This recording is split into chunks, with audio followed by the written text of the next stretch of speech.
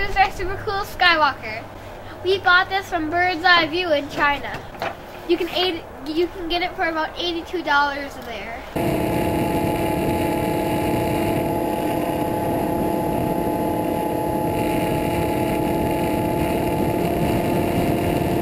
And this is a big airplane. It is a really amazing airplane.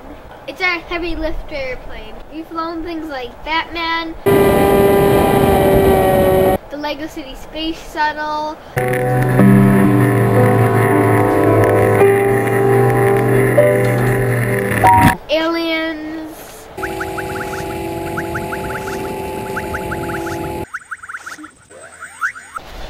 and we fly cameras with it. And we're really interested in the camera side of it.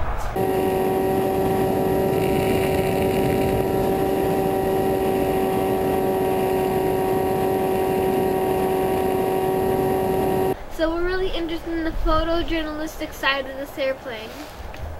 The image you can get with our seaplanes, off the ground but not too high.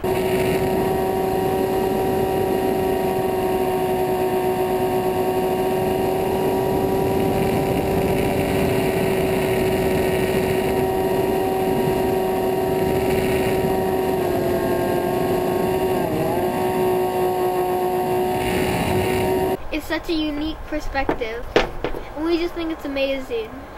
So in the long term, we're working to do that really well. The fields are going to more quadcopters in this.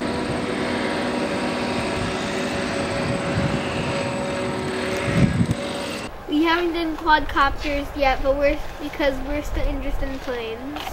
And this is another plane that's really good for aerial view. A few months ago, our paper ran an article about the lack of rain that we received and how the communities in the area get their water from the river, and the river was low. Whoa, it's awful close to that tree. And they had photojournalists come take a picture out from the bridge. We don't think it was very good representation of the drought. So we took our Skywalker out and took our own picture. And here's some examples of that. And we think that this perspective is very cool. And this is kind of something we are aiming for in RC. The photojournalistic side of RC. So it's just an example of one of the cool things you can do in RC. And it's working good for that even though it's a very big plane. We fly our Skywalker with twin motors.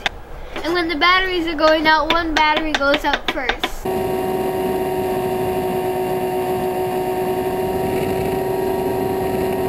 And this plane can just fly with one motor. We are coming and we have lost one motor and the plane was yawing. We gave it full throttle and the came came up and twists.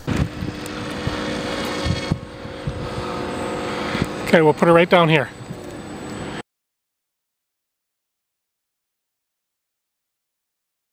And then we decided that we'll just drop it and then land it. Just another cool thing about this plane.